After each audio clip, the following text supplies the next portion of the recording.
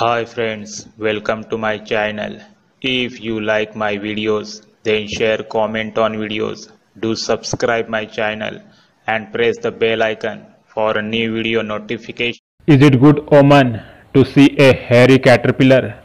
Hairy caterpillar associated with positive outcomes in your life and represents renewal, transformation, and good fortune. Also, some say it's associated with caution.